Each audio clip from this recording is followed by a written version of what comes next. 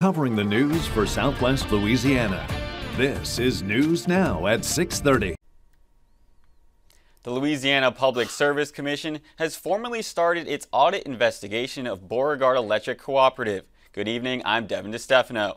The PSC has submitted a detailed list of questions to the co-op on a wide range of issues. Theresa Schmidt brings us the details.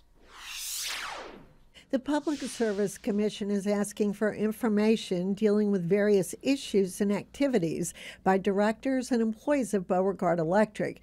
The co op is required to provide sworn responses and documents to the PSC. Among other things, the PSC asks if the BECi Board of Directors has taken any action on the recommendations given in an investigation memo on board conduct compiled by an outside law firm.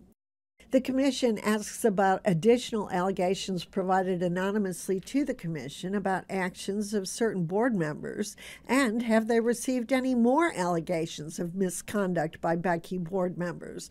If the answer is yes, the Commission wants details, whether they've investigated, and if not, why not? The three page letter also asks for minutes from all board meetings from 2021, 22, 23, and 24, along with policies and procedures that apply to the board members and employees, conflicts of interest, and purchasing and procurement activities, as well as budgeting, construction contracts, and change orders.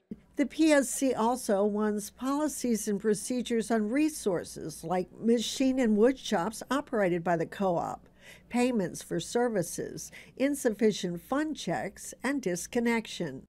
And finally, the PSC wants a list of all employees, managers, and directors, plus salaries, benefits, or perks provided.